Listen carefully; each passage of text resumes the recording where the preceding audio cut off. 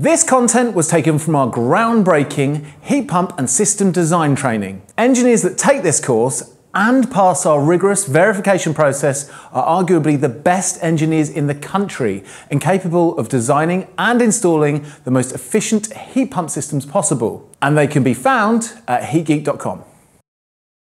The installation of a heat pump is essentially a plumbing job. However, Due to the extensiveness of the works involved in being a heating engineer in general, and especially for a heat pump installation, many building regulations must be understood and followed.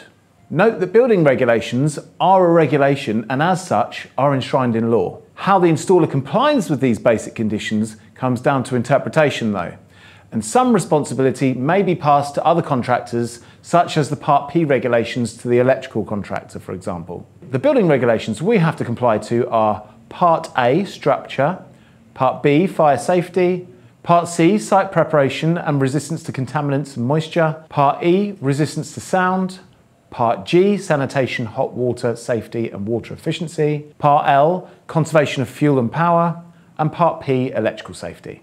In addition to this, the insulation company or a nominated responsible person must be water regulation certified, the practices follow the water regulations, and the fittings used be water regulation certified where required. A specific building regulations G3 certification must be held and practices followed.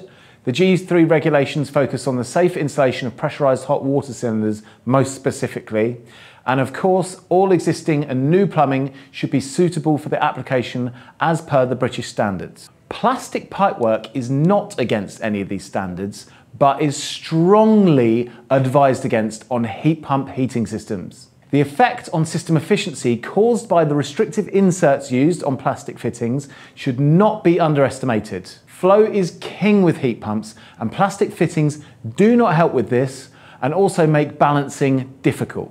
Plastic pipework also harbours much more bacteria in a heating system than copper. This is exacerbated by the low flow temperatures that all systems should run at for the highest possible efficiency.